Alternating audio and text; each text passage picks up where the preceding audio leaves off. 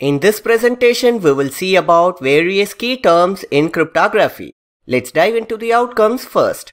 Upon the completion of this session, the learner will be able to Outcome number 1. Understand various key terms related to cryptography. Before stepping into various key terms, let's revisit what is cryptography. We have already seen cryptography is the art or science or method that converts the plain text into ciphertext and ciphertext back to plain text. Say if we have a plain text, this plain text is given as an input to an encryption algorithm and this encryption algorithm will convert this plain text into ciphertext. The ciphertext can be sent on the internet or any other communication channel because no one can understand what is the meaning of the ciphertext, what encryption algorithm was used to generate the ciphertext, and the main aspect is what is the key used to generate the ciphertext.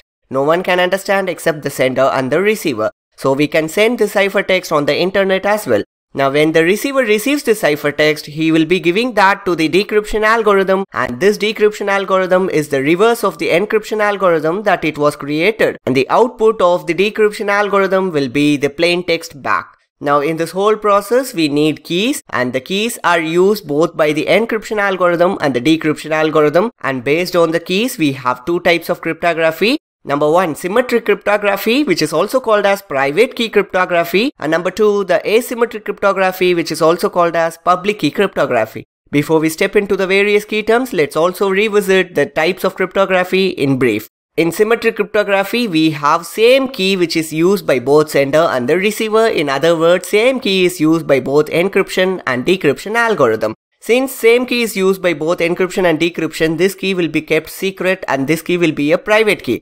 Since private key only is used by both encryption and decryption algorithms or sender and the receiver, we call this cryptographic method as private key cryptography. And coming to the asymmetric cryptography, we know in asymmetric cryptography we have two different keys used. Say for encryption one key is used and for decryption another key is used and the keys are public key and private keys. In this cryptographic technique, the sender will be having two keys, the sender's public key and the sender's private key. Similarly, receiver will also have two keys. One is receiver's public key and receiver's private key.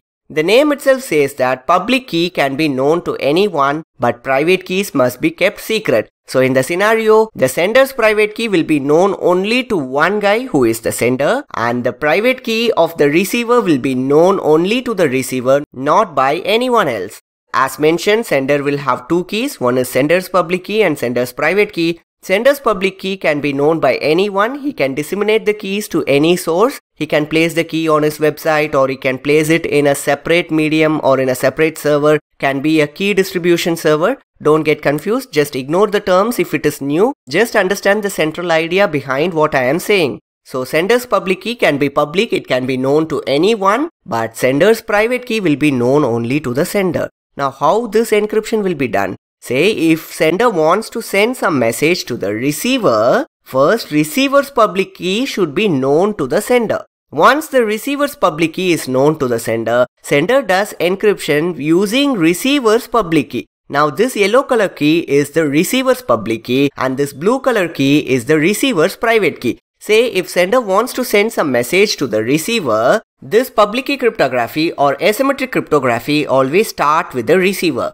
It means receiver must create his own pair of keys. One is his public key and the other one is his private key. When sender wants to send any message, first the receiver's public key should be known to the sender. Now what the sender is going to do, he can download the key from the website of the receiver or he can ask the receiver to send his public key over email or the destination or receiver's public key is given by the certificate authority which is the third party here. Let's imagine somehow the sender is having the receiver's public key. Now in this example, sender before initiating the transaction or communication, he must have receiver's public key. Let's assume receiver's public key is already available with sender. Now what sender does? He creates the plain text which should be a confidential message only receiver should understand. So after creating the message, he gives this to the encryption algorithm.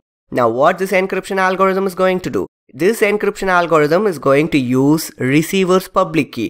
As mentioned, this is the public key of the receiver. This is the private key of the receiver. So receiver's public key is used for encryption Now receiver's public key and the plain text is given as an input to the encryption algorithm. Now this encryption algorithm will be generating the ciphertext. Now this ciphertext can be sent on the internet. When the receiver receives this ciphertext, receiver has to use his private key in order to generate the plain text back. Since this plain text is encrypted using receiver's public key, it can be decrypted only with receiver's private key. So if it is encrypted with a public key, it can be decrypted only with the private key of the corresponding person who has created the key. So in this case, receiver's public key was used to encrypt, so receiver's private key can be used to decrypt. So this is about asymmetric cryptography we can understand that different keys are used for both encryption and decryption. So this is asymmetric cryptography. Let's now see the various key terms. Cryptography, plaintext, ciphertext, cipher which is also called as an encryption algorithm, key, cryptanalysis and cryptology.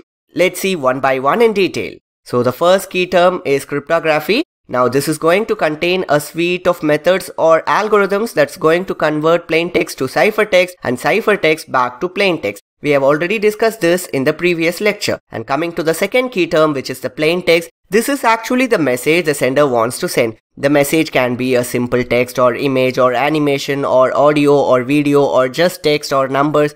Even in WhatsApp, WhatsApp does end-to-end encryption. So whatever is the WhatsApp message the user or the sender is sending, that will be encrypted and that message will be sent to the WhatsApp server. And when the receiver receives the message, it will be decrypted by the receiver. Actually, the WhatsApp application does both encryption and decryption. As mentioned, the plain text can be anything. And what about this? The converted plain text or the encrypted plain text is called as the ciphertext. So an encryption algorithm will convert the plain text to the ciphertext with the help of the keys. This ciphertext is an unintelligible message, no one can understand. It is a scrambled message. And coming to the next key term, which is the cipher, which is also called as an encryption algorithm. This encryption algorithm only is going to convert the plain text into ciphertext by taking key as an input. Cipher is a very important thing and generally these ciphers or encryption algorithm can be public. Anyone can know what is the encryption algorithm is used to generate the ciphertext but key is the most critical information. Let's now see the next key term, the key. As mentioned, key is the most vital and critical information as far as security is concerned because if one plaintext ciphertext pair is known by the attacker, it's not going to hurt the communication or lot because just that plaintext ciphertext pair only is known to the attacker. But if the key is known, everything is known because the attacker can break using the key. The entire communication goes chaotic and it is not confidential anymore once the key is revealed. So key is the most important information that should be kept secret. So based on the number of keys, we have symmetric cryptography and asymmetric cryptography. We have addressed that just now. And coming to the next key term, which is cryptanalysis. Cryptanalysis is also called as code breaking. Let's assume attacker does not know what is the encryption algorithm that is used to generate the ciphertext. And obviously attacker will have no chance for knowing the key. At least encryption algorithm he might be knowing to some extent. But let's assume attacker does not have any chance for knowing the key. But still, attacker will be trying to know what is the plain text by breaking this ciphertext or decoding this ciphertext. Whatever action the attacker is going to do with the ciphertext is no more a legitimate activity. It is a code breaking activity because he does not know the key. So his intention or attacker's intention will be knowing the key more than knowing the ciphertext because he knows the plain text only for the ciphertext that he has received. If he knows the key, then obviously he can know the entire conversation or entire communication. So attacker's intention will be mainly finding the key so this is about cryptanalysis, which is a bad activity. This is done by attacker. And let's now move on to the last key term, which is cryptology. Cryptology is the combination of cryptography and cryptanalysis. So how to convert the plain text into ciphertext and ciphertext back to plain text, this is cryptography. Cryptanalysis is a malicious activity that is done by the attacker. So cryptology deals with both cryptography and cryptanalysis. And that's it guys. I hope now you understood the various key terms related to cryptography. I hope you guys enjoyed today's lecture and thank you for watching.